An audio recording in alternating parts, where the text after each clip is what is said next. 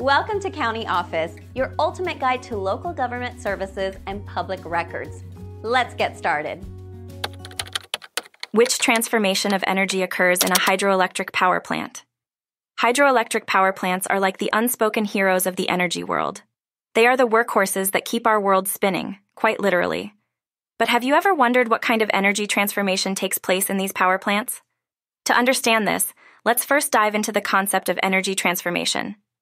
Energy transformation, also known as energy conversion, is the process of changing energy from one form to another. This happens all the time in our daily lives. When you eat a sandwich, your body transforms the chemical energy in the food into mechanical and thermal energy. Cool, right? In the case of hydroelectric power plants, the transformation is a little more complex. These plants harness the power of flowing or falling water to generate electricity. Here's how it works. First, potential energy stored in a water reservoir is transformed into kinetic energy as the water falls or flows due to gravity.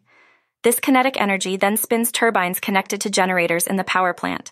The mechanical energy of the spinning turbines is then converted into electrical energy by these generators.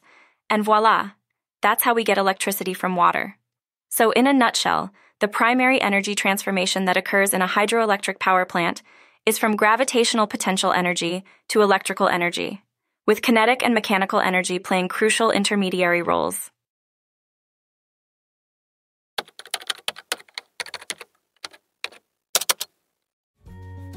To learn more, check out these links, which you can click in the description below and feel free to comment your questions. We're here to help. Thanks for tuning in to our video. Please like and subscribe and leave a comment below. See you in the next video.